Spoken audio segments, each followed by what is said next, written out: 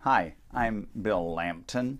When we watch people being interviewed on television, we can learn a lot about how to answer questions effectively because many of these people have been guests on television programs repeatedly.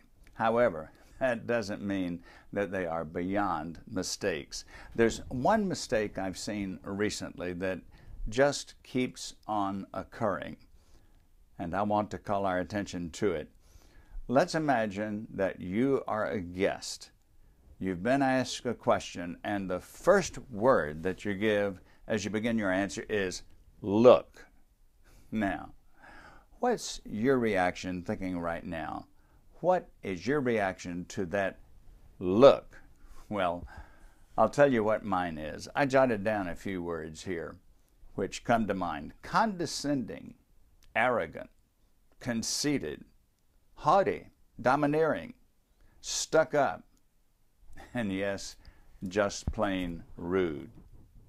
Look sounds very much like what you would say to your child when you come home at the end of the day and find out that they have been doing something they've been instructed not to do. Look, you've been told not to get on that trampoline when nobody else is at home.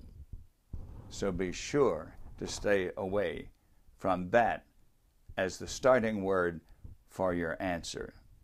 Find something benign and pleasant, such as, in my opinion, and I'm speaking only from my vantage point, you see, that's much more open and receptive. Thanks for being with me. Be on the lookout for that word look. Don't use it yourself. I'm Bill Lampton.